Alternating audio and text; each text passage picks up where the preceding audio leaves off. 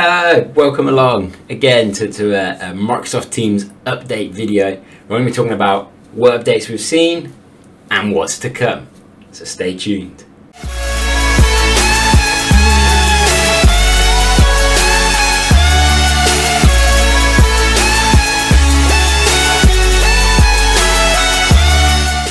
Hello and welcome along to this video. I'm going to be talking to you about some of these updates that have, have come out in Microsoft Teams and some of them that, that are yet to come.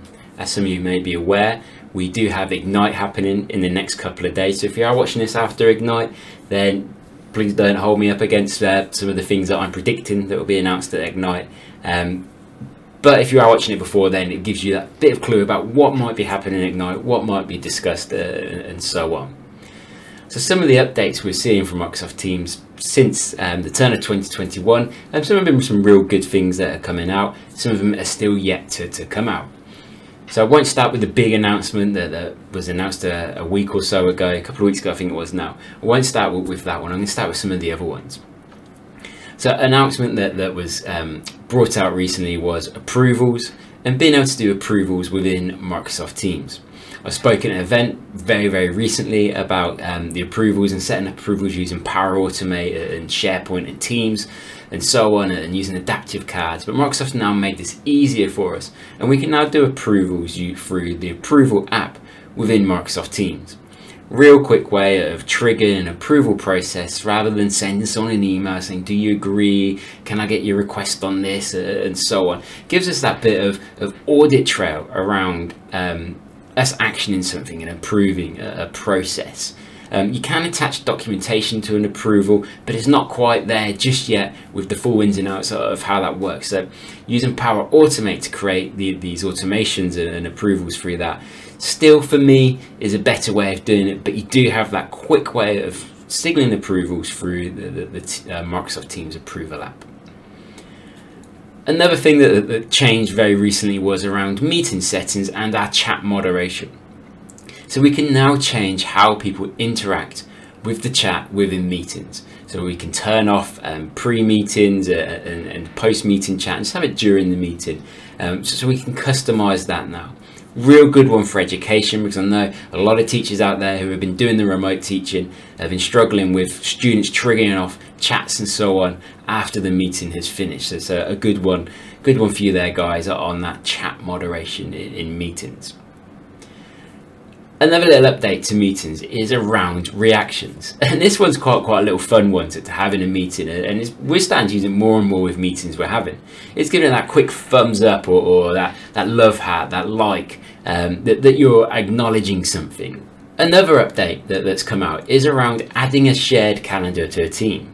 And when this one got announced, I was really excited about this one dropping because I was thinking this is fantastic. We're going to be able to add in this shared calendar. We're going to be able to interact with a calendar outside of Teams and Outlook, but also in our team space to give visibility of meetings, actions, events, and so on. I have been a little bit disappointed by this one. Um, so the update is great, fantastic. We can add that shared calendar into a team but I'm yet to find a way of extracting that calendar out so outside of our team's environment and using that calendar um, in Outlook, for instance. So if you are having someone that's managing a group calendar, they can add events to it. They don't necessarily need to be meetings, or maybe they're meetings in person. Within Teams, when we're adding that shared calendar, it's a calendar that sits in our channel associated to our team, but the actual calendar events are for channel meetings. So if you add a new calendar event, it is a channel meeting. If you add a channel meeting to the particular channel you have the calendar attached to as a tab, then it does add it as a channel meeting. We can't add in anything else to this calendar. And for me, that's a massive frustration around shared calendars, but hopefully that will come. A lot like Microsoft updates, they tend to release something and then work on it and build on it and give us that extra functionality we all want. I have gone into the 365 groups associated to a team and SharePoint sites to, to try and unpick and dig out that calendar, but I'm yet to find it. So if you're watching this and you've managed to do that, please again, drop a comment, let me know how you've done it because I would love to know how we can interact with this calendar outside of our team space. But for those of you that do schedule lots of channel meetings, um, it's a great way of bringing up those channel meetings into a, a, calendar and giving people a visual view of all the channel meetings you have going. So it is good for that. One that's gone missed by many is around history in Teams. So we're able now to see our history of where we've been in Teams. Very much like an internet history, um, works in a similar way within Teams. If you go into the top left corner, you have the um, back and forward arrows in, in that top left hand corner of your Teams application, so your installed version of Teams. If you hover over that and leave your mouse, it then brings down a drop down of previous things that you can revert back to a chat you've been in or, or to a team. Um, because that's been a frustration with people using Teams. You'll be in your team channel, you'll be composing a message or maybe working on a document in your team's file space, and then someone sends you a chat, you'd open up your chat, chat to them, then you'd go back into Teams and it wouldn't always remember where you were last left off. So you'd go into your team, back to your channel, and so on, and navigate back through. Well, now in our history menu of our back and forward buttons, we can hover over that, and it brings down that drop down, and we're able to, to, to interact with that history of things we've been to in Teams. So just on things that have come out and have dropped, um, a real big one is around Microsoft Viva. So I'm sure you're all well aware again of the news around this. There's been lots of blog posts by people. Um, I myself have contributed to blog posts around um, Viva, and I'll add that into um, the link below on this video. Um, and there's been loads of videos around it as well on YouTube, which is why I sort of held back from, from doing it because I myself have had to do some digging to try and find out. So I'm sure many of you out there saw the Viva announcement, thought, brilliant, this this looks really good, exciting, but what is it? What is Microsoft Viva? And a lot of us were, were at, at that stage where we've sort we've seen insights. Insights was coming. We, have seen connections. We've seen the, the, other aspects of it. But for me, it's great. It's that bringing it all together. And again, as Microsoft likes to do, it's what's going to come next. What's going to build off the back of of these tool sets that they're giving us now um, through the, the, the Viva branding as such. So I know Connections is a great one. Looking forward to that dropping. And Topics, fantastic stuff. Being able to highlight those key bits of information to people. Learn, again, I've been doing a lot of stuff with, creating SharePoint sites uh, and using them as hubs in Microsoft Teams by creating a learning environment within there. So I'm really excited to see what, what the Viva Learn enables us to do with SharePoint uh, and so on. And then Insights, which is bringing up my analytics and my work um, analytics into um, into Teams and, and giving us that visibility of it. So again, really excited to say we've already got the insights if you are a Mine Analytics user so there's already an aspect of, of insights in there. Um, like I say I'll drop a link to the blog post where you can find out more information around um, Microsoft Viva. Okay so as I said um, Microsoft Ignite is very very close to happening. Uh, lots of excitement around Ignite because usually when big things get announced, it's a real big Microsoft event where when Teams is usually at the forefront in the, the past couple of Ignites with big updates. My predictions for, for this is Viva is going to be a big part of, of of those announcements and workshops and so on. Still going to be lots around remote working. Um, I think there's going to be a big aspect around frontline workers as well and interacting with teams. Um, but just some, some of the updates that, that are going to be shown or, or, or, maybe not maybe not shown at Ignite but are coming in the next month or so. Um, one of them is meeting recaps. And I don't know why this hasn't come out already. I know on previous videos I spoke about um, breakout rooms and how we waited such a long time for that. But it seems like we've been waiting for meeting recaps as well for, for quite some time.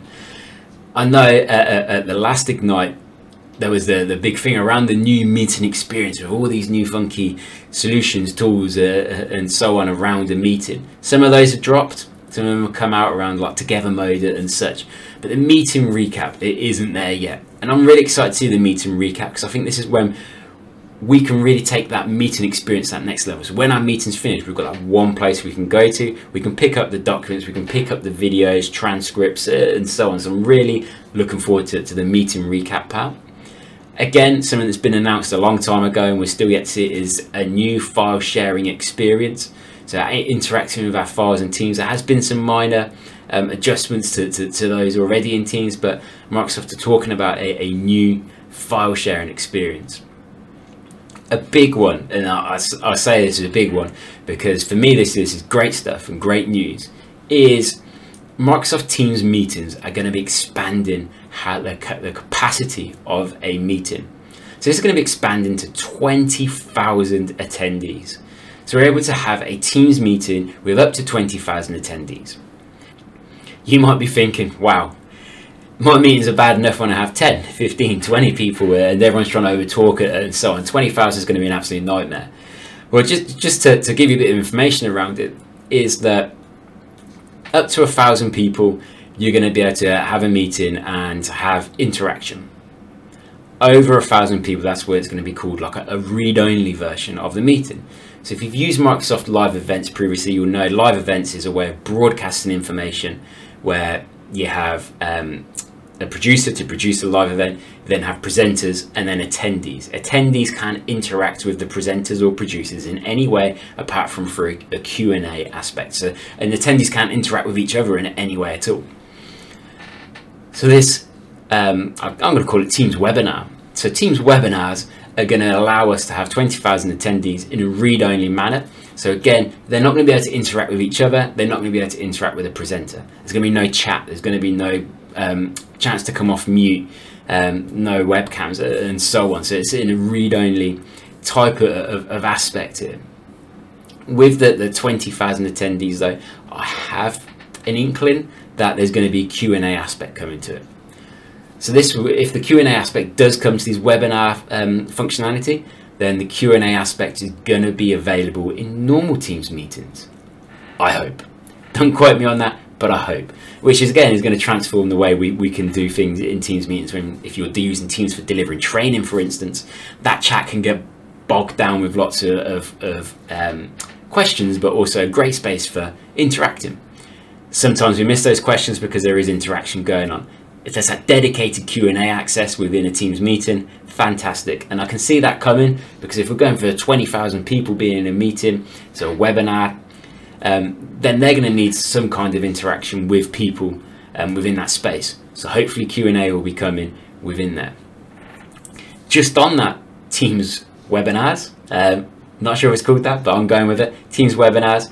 There is going to be an attendee registration page. Microsoft Bookings has been a place where people have been creating uh, attendee registration pages where people can book onto events and meetings and so on. So I'm guessing it's going to be adapting the kind of look of that or, or, or using some aspect of that. But it's going to be an attendee registration page where people can sign up and join that webinar through that registration. Brilliant move, Microsoft. Well done. Something that hasn't been cried for and been asked for a lot because we've been using live events. Um, but it's a step in the right direction. I can see it's making a huge impact in the way um, companies and organizations do those bigger scale um, events and so on.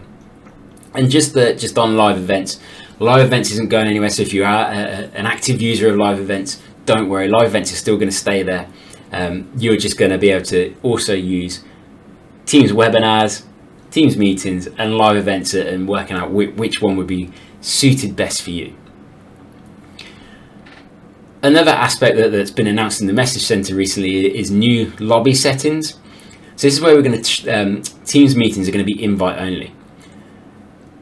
Currently, when you schedule a Teams meeting, it creates a web address. So it creates a, a, a public web address that if anyone has access to that web address, they can click on the link and they can join that meeting. Rewind back to, to the beginning of, of how people started working more remotely. There was a big concern about another third party um, meeting application that ended up with people dropping in. It was called bombing. So they bombed into these meetings, did whatever in that meeting, and then would leave. There's a bit concern around Teams because Teams, again, public um, website address that anyone could join that. Obviously, you could put lobby settings in place so you have to approve who joins it and, and who you don't allow into the meeting. But it's still that aspect of someone putting in a guest name um, and gaining access to that meeting because they just put their name in, they get in. Um, pretty simple, really. But new lobby settings are coming, so unless they're actually invited to the meeting, they can't join the meeting. Again, not sure why it wasn't there before, but Microsoft step in the right direction, a bit more around security. We can make our meeting environments a lot safer and, and um, allow who we want to allow in those meetings. Something that I think I should mention um, that did cause a bit of an uproar. You may not have heard it. It was announced in the message center, and um, Microsoft sort of backtracked on this one. Uh, it's around Teams Pro. Not sure what happened here, but someone I think messed up maybe. Um, but there was an announcement in the, the Microsoft 365 Admin Center in the Message Center around Teams Pro being announced. This caused bit of an uproar around forums and um, LinkedIn, Twitter, and so on around people saying, "What's Teams Pro? What do I need to pay for now for, for enabling Teams Pro? What's it going to give me?" Uh, and so on. A couple of days later, Microsoft did another message say Teams Pro and no changes in costing. It's A3, E3 licensing to, to enable Teams Pro and so on. Again, didn't really give us much indication of what it is, what it means. I've heard it from the grapevine that, that Teams Pro isn't necessarily a thing Microsoft are pushing. It's not coming out anytime soon. Not much details around on the internet, but I think someone messed up, announced this too early, and they've had to rein it in a bit around this don't know the full details, so I'm not going to speculate around what I think uh, and so on or what I've read. Again, plenty of blogs out there. Go off and, and search around that. But I thought it is worth noting that about Teams Pro. Um, watch this space, I guess, to see what happens there. One final thing to, to talk about is, is Skype for Business. If you're a Skype for Business user, then you if it's the cloud version, then that does become end of life on the 31st of July. If you have it um, on premise, you do get to use it for a bit longer. I know some organizations out there are still using Skype for Business for telephony, um, but just one 31st of July, end of life for Skype for Business um, cloud version. Did a, um, a, webinar on this last week around Skype for Business. Again, I'll pop it down in the, the description below around um, a link to that so you can go and watch that and find out how you could roll out Teams if you're a Skype business user uh, and so on. But I wouldn't have thought you'd be watching this video if you're not using Microsoft Teams. But I'll link it in there just in case you, you do want to check that out. Okay, so, so that's my quick roundup then of what um, updates we've seen recently, what's to come. I will um, be keeping an eye on, on things in the comments because I know I've, I've, popped some things out there to ask you some questions. Be great to see what what um, what updates you're excited for, where you things might be might be used. Webinars, love to hear your discussions around that. Um, so please do comment below to, to add that in. Do give a thumbs up on, on, on the video, subscribe to the channel and all that whatnots and so on. Um, but if, if you your ads going to Ignite, do enjoy it great to, to catch up on LinkedIn and Twitter to find out what it is you're excited for around Ignite, what, what you're, you're doing at Ignite. Um, and until next time, stay safe, everyone.